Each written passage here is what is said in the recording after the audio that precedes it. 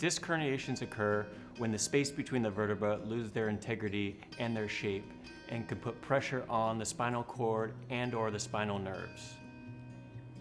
This can occur uh, either due to trauma, injury, or accident, or long-term repetitive stress, either due to weakness or improper posture.